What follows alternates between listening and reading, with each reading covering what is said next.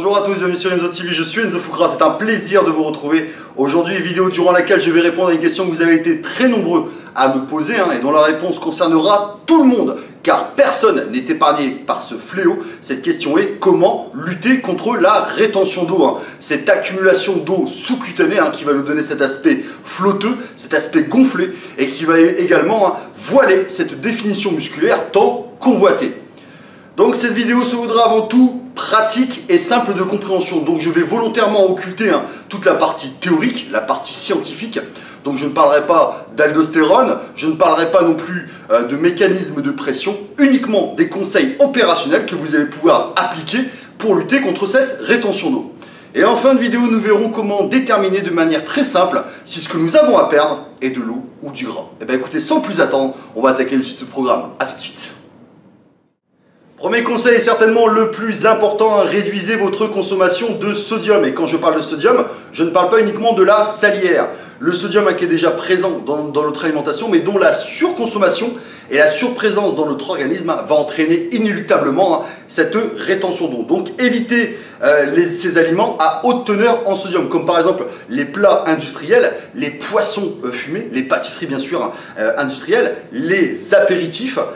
Les bouillons en cubes ainsi que les soupes lyophilisées hein, sont bourrés de sel. Les fromages à pâte dure comme le gruyère et les euh, par exemple. Bien sûr, la malbouffe n'est pas en reste hein, avec en tête de liste la mythique pizza qui offre le combo fatal. Sucre, glucides, gras et sel à foison. La preuve en est, le test, mangez une bonne grosse pizza un soir, il y a fort à parier que le lendemain matin vous arboriez des jolis joues de hamster. Donc pour ceux qui sont accros à la salière, deux options s'offrent à vous. La première, c'est de la remplacer par une autre épice. Et la deuxième, c'est de vous procurer, comme je le conseille d'ailleurs à mes clients, un sel que vous pouvez avoir notamment en pharmacie avec 0% de sodium et le même pouvoir salant. Ce sel hein, qui est souvent euh, prescrit pour les personnes qui ont des problèmes euh, d'hypertension, euh, de dérèglement hormonal, de problèmes thyroïdiens, non seulement il aura 0% de sodium, mais il sera enrichi en potassium et en magnésium, deux minéraux qui, nous allons le voir très bientôt, jouent un rôle primordial contre la rétention d'eau. Deuxième conseil, buvez de l'eau en abondance. Et force est de constater que généralement, vous ne buvez pas assez. Alors ce conseil peut paraître contradictoire puisque dans la conscience euh, collective, hein, moins je bois, moins je ferai de rétention d'eau. Alors c'est totalement faux, vous allez même provoquer le contraire. Si vous maintenez votre corps dans un état de déshydratation et de manque d'eau, celui-ci, hein, par instinct de préservation, par instinct de survie, va stocker le peu que vous lui donnez, hein, que ce soit via ce que vous buvez, mais également via l'eau contenue dans vos aliments. Donc encore une fois, maintenez votre corps hydraté. Hydratation qui sera d'autant plus importante du fait que notre discipline nous astreint un régime hyperprotéiné, la protéine étant par définition déshydratante. Alors la caractéristique hein, des personnes souvent déshydratées qui boivent très peu, hein, c'est qu'elles vont très peu souvent aux toilettes et ont une urine très colorée, très chargée, alors qu'à l'inverse, vous devriez y aller beaucoup plus souvent et arborer une urine translucide, voire cristalline. Au niveau du litrage, rien d'universel, hein, puisque nos besoins seront étroitement liés à nos caractéristiques physiques. Si j'ai un conseil à vous donner, buvez dès l'instant où l'ombre de la soif se profile. N'attendez pas d'avoir soif, la soif étant le premier stade de déshydratation. Au niveau du choix de vos eaux minérales, faites attention hein, puisque certaines eaux ont une haute teneur en sel, donc regardez bien les étiquettes, pour ma part, hein, ce n'est pas un placement de produit, euh, je consomme de la Courmayeur qui est une des eaux les moins chargées en sodium. Et au niveau des boissons, bien sûr, hein, les alcools sont à proscrire ou alors à consommer avec parcimonie, hein, euh, du fait qu'ils soient généralement bourrés de sucre, mais également très déshydratants. Il en est de même pour le café, qui ne sera surtout pas assimilé à une consommation d'eau, puisque non seulement il sera déshydratant, mais il sera également diurétique. Et bonne nouvelle pour les amateurs de thé, hein, vous pouvez vous en donner à cœur joie. Troisième conseil, attention à votre niveau de cortisol. Hein. Le cortisol, c'est cette hormone catabolisante, appelée également hormone du stress, hein, euh, dont le niveau sera très élevé après une séance intense en musculation. Niveau qui, s'il ne diminue pas, va contribuer à favoriser la rétention d'eau. Donc pour qu'il diminue, plusieurs conseils. Le premier, éviter le surentraînement bien sûr, et surtout en période de sèche, éviter les séances marathon en rajoutant en plus des séances de cardio à outrance, hein, vous allez stresser inutilement votre corps, favorisant, hein, euh, favorisant cette rétention d'eau. Donc en sèche, surtout, hein, privilégiez les séances assez courtes avec comme principal objectif surtout le maintien de votre niveau de force. Deuxième chose, veillez à bien récupérer et surtout à bien dormir. C'est ce qui va contribuer à diminuer ce cortisol. Les personnes qui dorment très peu ou qui n'ont pas une bonne qualité de sommeil sont généralement beaucoup plus sujettes à la rétention d'eau. Quant aux personnes stressées, que dire si ce n'est Inspirez profondément, voyez la vie du bon côté, relativisez, même si cela ne résout pas vos problèmes, ça vous permettra de les aborder avec un peu plus de sérénité et un peu plus de philosophie. Quatrième conseil, transpirez à la salle. Vous serez étonné de voir la quantité d'eau hein, sous-cutanée que nous pouvons éliminer via la sudation. Donc je ne vous demande pas de porter 3 kawaii, une doudoune et votre veste de sport. Gardez juste votre suite pendant votre séance cardio ou votre séance muscu et ça sera amplement suffisant. Vous pouvez même, hein, pour stimuler cette sudation, hein, opter pour un entraînement de type cardio, comme par exemple les circuits training, ou alors un principe d'intensification visant à enchaîner l'exercice sans temps de repos, comme par exemple les supersets, les biceps, les triceps, les G7, enfin bref, faites votre choix. Bien sûr, hein, pensez à bien vous hydrater.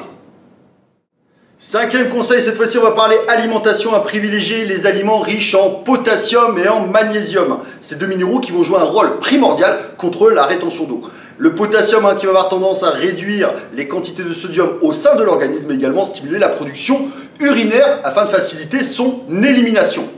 Alors les aliments qui sont riches en potassium, par exemple, vous avez euh, les lentilles, mais également les amandes, les épinards, mais et la traditionnelle banane. Quant au magnésium, celui-ci va permettre une meilleure assimilation aussi bien du potassium que du sodium afin de réguler les fluides au sein du corps et indirectement donc hein, euh, lutter contre la rétention d'eau. Alors les sources euh, de magnésium, donc vous avez tout ce qui est oléagineux, hein, donc les noix, noisettes, noix de cajou, amandes, mais également les fruits secs et les flocons d'avoine. Quoi qu'il en soit, je vous ai mis en description de la vidéo hein, deux liens répertoriant les aliments qui en sont le plus riches. Alors petite parenthèse concernant le magnésium et la vitamine B6 pour vous, mesdames, surtout lors de votre période prémenstruelle, période durant laquelle vous allez être beaucoup plus sujette à la rétention d'eau. Il peut être tout à fait judicieux hein, de prendre un supplément en vitamine B6 et en magnésium, en l'occurrence hein, du Magni B6 par exemple, pour lutter contre cette rétention d'eau.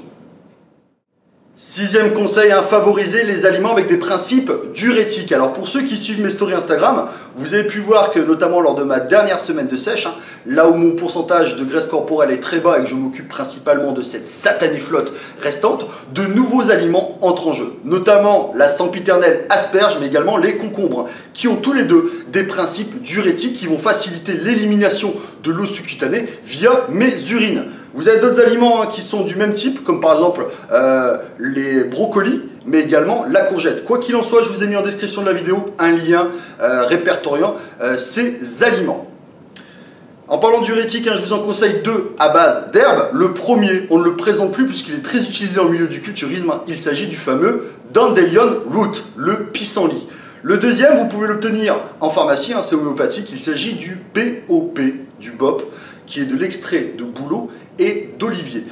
Ces deux compléments vont vous permettre encore une fois une meilleure élimination via les urines de cette satanée rétention d'eau. Dernier conseil, celui-ci s'adresse principalement aux personnes qui s'apprêtent à monter sur scène pour une compétition ou alors à faire un shooting photo, notamment vis-à-vis des séries de pumping. Séries de pumping, si elles sont bien faites, va vous permettre après toutes ces semaines de dur travail hein, euh, d'arborer un physique veineux, un physique véritablement épique. Mais par contre, si elles sont mal faites, va vous donner un résultat complètement désastreux. Alors comment bien les réaliser? Plusieurs conseils. Premier conseil, utiliser des charges très légères, voire même l'utilisation d'élastiques ou le poids de corps. Deuxième conseil, ne faites pas une séance avant votre shooting photo ou alors avant de monter sur scène. Contentez-vous de faire quelques séries uniquement sur les gros groupes musculaires, juste pour activer euh, la congestion. Troisième conseil, surtout pas d'atteinte de l'échec. Si vous ne respectez pas ces trois conseils, qu'est-ce qu'il va se passer? Vous allez provoquer au même titre qu'une séance classique une inflammation au niveau du muscle et cette inflammation va inéluctablement hein, faire un appel d'eau, donc de physique épique, bienvenue, vous allez arborer un physique digne du bonhomme Michelin. Donc encore une fois, privilégiez juste quelques séries sur les groupes musculaires et profitez, c'est votre moment. Voilà, avant de clore cette vidéo, hein, comment déterminer si ce que nous avons à perdre est de l'eau ou du gras, c'est très simple. Pesez-vous un matin, appliquez tous les conseils que je viens de vous donner et reposez-vous, on va dire, trois jours plus tard. Si vous assistez à une diminution de votre poids, c'est que vous faisiez de la rétention d'eau. Si par contre votre poids n'a sensiblement pas changé, mauvaise nouvelle, c'est que c'est du gras et vous allez, devoir, vous allez devoir faire un effort sur votre diète. Effectivement, hein, aussi gênante soit-elle, la rétention d'eau par contre est très rapide à perdre. C'est juste l'histoire de quelques jours. Et enfin, si votre rétention d'eau est due à une raison, pour une raison médicale, en l'occurrence hein, de l'hypertension, un problème euh, thyroïdien, un dérèglement hormonal ou une mauvaise circulation sanguine, je vous conseille surtout, hein, si ce n'est pas déjà fait, d'aller voir un spécialiste. Et voilà qui conclut cette vidéo hein, sur la rétention d'eau et mes conseils pour lutter contre cette dernière. Voilà, je vous invite à aller sur mon site internet enzocoach.fr hein, si vous voulez bénéficier d'un coaching distance, que ce soit en termes de plan alimentaire ou de plan entraînement euh, personnalisé. Le lien du site sera en description de la vidéo. Et je tiens également à remercier mon partenaire Prozis pour la confiance qu'il me porte. Hein. Prozis qui vous offre moins 10% sur chacune de vos commandes et ce en permanence avec le code qui s'affiche dès à présent. Donc merci à eux et merci pour leur confiance. Donc voilà, cette vidéo est terminée. J'espère qu'elle vous a plu. Si c'est le cas, n'hésitez pas les amis, hein. abonnez-vous à la chaîne, mettez un petit pouce bleu. Ça fait toujours plaisir, ce petit signe de soutien. Quant à moi, je vous souhaite à toutes et à tous de très bons entraînements, de bonnes luttes contre la, cette satanée rétention d'eau. On se retrouve très bientôt pour une nouvelle vidéo. Vous étiez sur Enzo TV, je suis Enzo Fukra. Bye bye les amis, ciao ciao, salut